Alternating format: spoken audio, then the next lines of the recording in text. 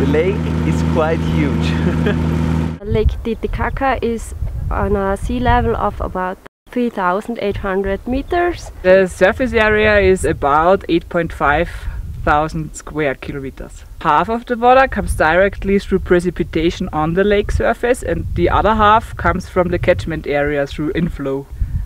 The lake has one outflow, but um, only less than 10% of the water um, goes through the outflow to another lake and then to the Salar de Uyuni, which is located in Bolivia. And the other, more than 90%, um, go away through evaporation. The lake level can fluctuate more or less an average one meter between dry season and rainy season.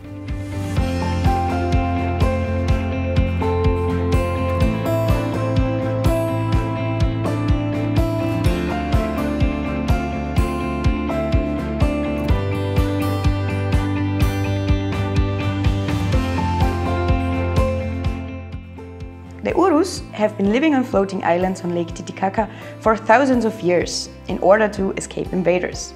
They completely relied on the Totora reed for building their islands, houses and boats. And today tourism is a very important income for the descendants.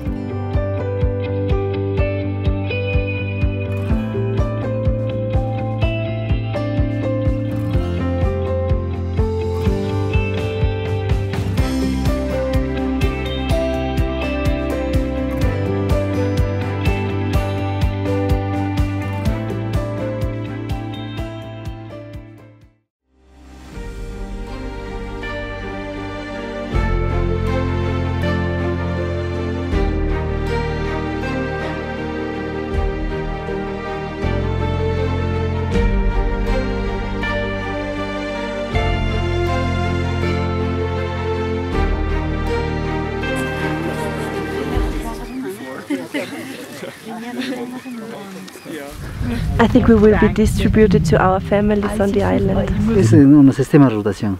Somos 10 comunidades, entonces cada hospedaje de cada comunidad, en caso de mi comunidad somos 40 hospedantes. Cada familia lleva 10 turistas, no un día, puede ser 3, 4, 5 días. Y cada dos meses recibimos turistas. Cuando completamos a otra comunidad, sucesivamente así van dando la vuelta. Y toda la isla son 10 comunidades. acá insiste Aini u y la Minca. Eso quiere decir, nos ayudamos todos a hacer la casa, a hacer adobe, a hacer la casa. Para él, para mí, así. No cobramos que nos pague nada.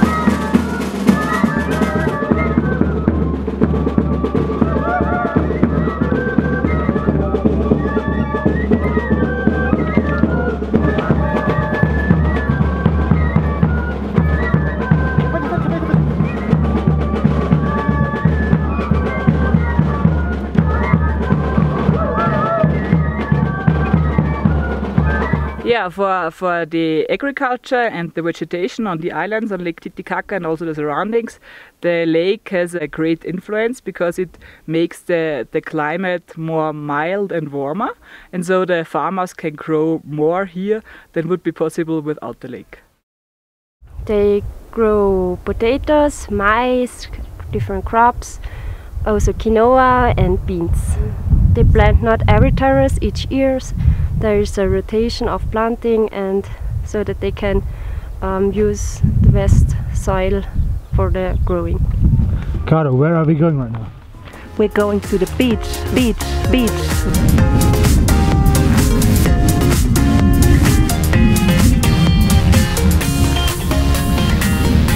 So this nice beach, Yeah. this nice beach looks like the Riviera.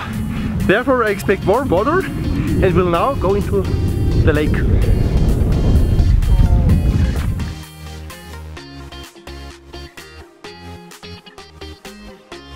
It was refreshing. Really refreshing.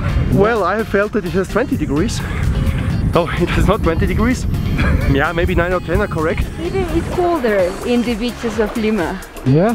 Yeah, because of the Humboldt, Humboldt current, yes.